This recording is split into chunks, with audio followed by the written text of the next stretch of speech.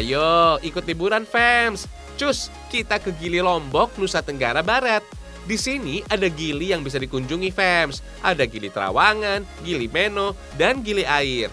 Oh iya, dari beberapa gili di sini, gili Trawangan adalah gili terbesar yang terletak di sebelah barat laut Lombok. Nggak heran, pengunjungnya relatif lebih banyak dibandingkan kedua gili lainnya. Saat ini kita masih dalam fase new normal alias normal baru. Jadi, ikuti protokol kesehatan ketika berada di luar rumah supaya liburan lebih aman dan nyaman ya.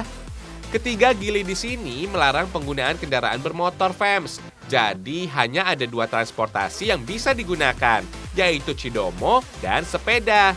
So, nggak bakal ada tuh asap yang bisa mengganggu pernafasan kalian. Hihihi. Sebenarnya sih peraturan ini dibuat sebagai upaya lingkungan di Gili tetap asri dan nggak berpolusi. Cara ini juga untuk mendukung keputusan pemerintah dalam mempercepat perluasan pembangunan ekonomi Indonesia, khususnya di bidang pariwisata.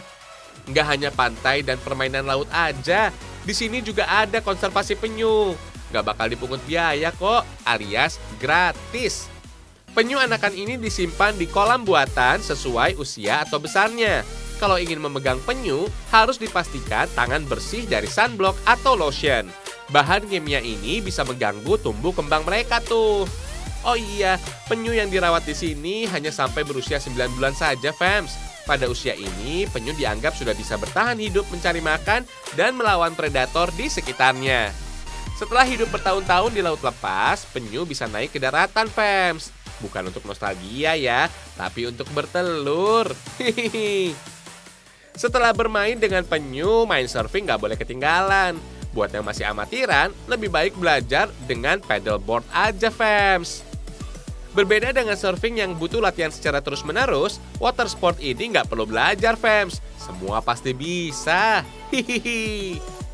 Paddleboard ini adalah olahraga surfing dengan dayung dan deburan ombak.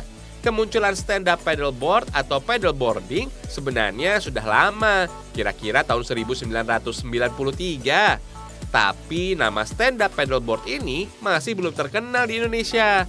Kebalikan dari selancar, olahraga ini tidak bisa dimainkan saat ada angin besar. Bisa-bisa pemainnya jadi mudah jatuh tuh.